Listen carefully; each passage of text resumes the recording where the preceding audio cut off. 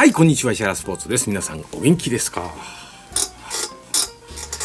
えっ、と、引き続き、今こんな感じですけど、えー、K さんからお話ございましたので、こちら、ミゲール・カブレラさんトリプルクラウン記念モデル貴重なグラブですけどもブレイクインの方進めていきますがその前にちょっとねグリスの状態が前もお話ししましたけどここちょっと浮いてきてるでしょ？ここを境にこう硬くなってるところと浮いちゃってるところございますのでまあ、あのグリース入れる入れないはあ、まあ、入れるかなっていうとこですけど、まあ、今日はその判断をするということで中を開けて見てみたいと思います。K さんよろしくお願いいたします。それではどうぞ。はい、じゃあ見ていきますね。えっ、ー、と今もお見せしましたけどほらちょっと南極大陸みたいにグリスがねあの染み出てきちゃってます。こっちは浮いてますよねここね。はい。うまく使ってればじわーっとこうねあの綺麗なグラデーションで、えー、グリスが出てくるんですけど、えー、使わないで置いとくとこういうふうにこうくっきり出ちゃう場合が多いんで、えー、注意注意っていうかそういうことですね。はい、じゃあ早速ちょっと見てみましょうか。はい。えー、こんな貴重なねグラブを触らせていただけるのは光栄でございますけれども早速中の方を開けて見ていきたいと思いますまだまだレースはねしっかりしてますのでうん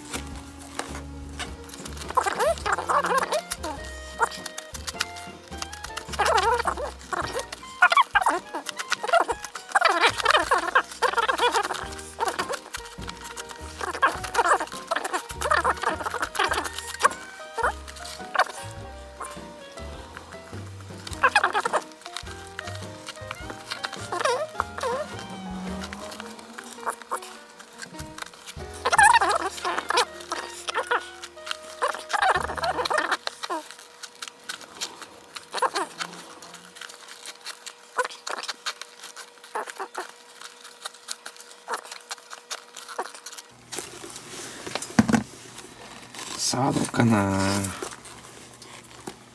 はい。やっぱりこうえー、親指芯親指パッドは薄めですね。これね。こんな感じです。薄いですね。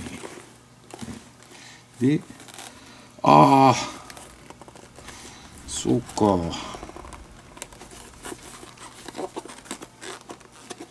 うん。まあないことはなかったんだけどもうこんだけですね。で親指の元の方はこれない。うん。ないです。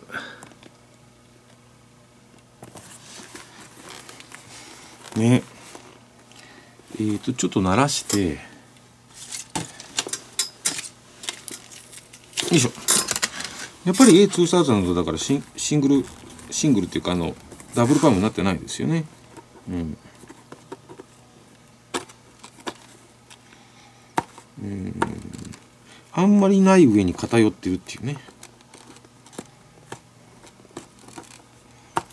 入れるかな？どうするかな？ちょっと鳴らしはしますけど。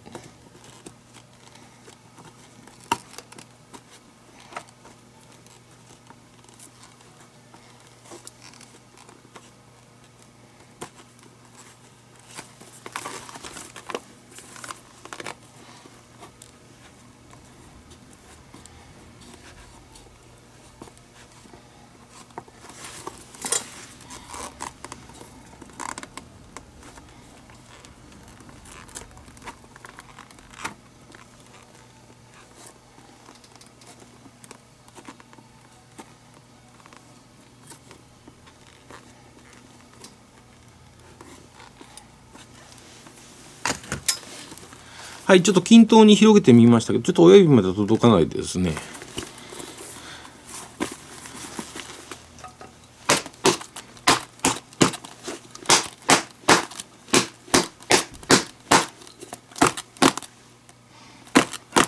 うん。まあ、これでやってもいいような気もするけどな。はい、いらっしゃい。あの、実名野球なんですけど、ね、はい。よいしょ。よいしょ。うん。ということで気になるのはちょっと伸ばして伸ばして伸ばして伸ばして。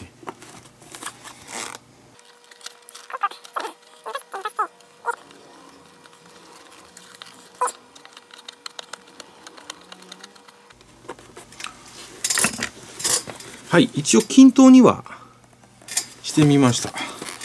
いっぺんこれで様子見てみましょうか。ね。えー、っと。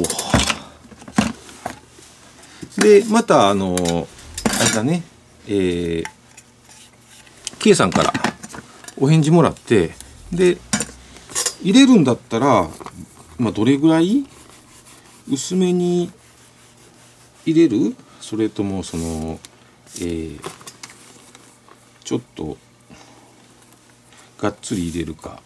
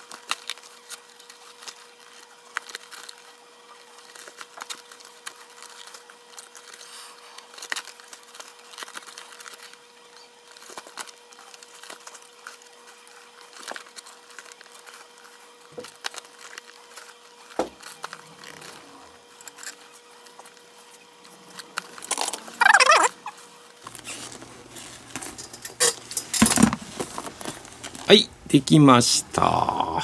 でちょっと叩いて様子見ていきましょうか。それからグリスを入れるかどうか考えましょうか。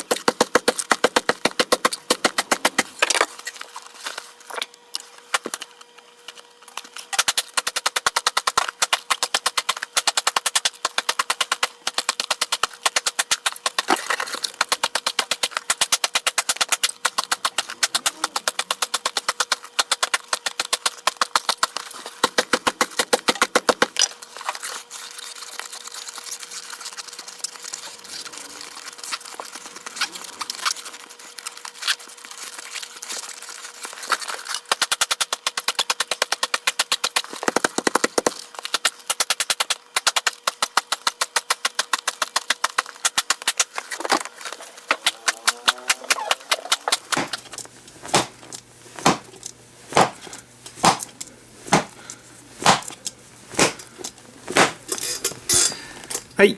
だいぶ良くなってきましたけど、やっぱここはね、特にこのハーフの折り返し、で、えーこの受給面のところね。ちょっと置いてきてますんで。まあ入れるかどうかは計算次第ということになります。だいぶいいけどね。軟式でも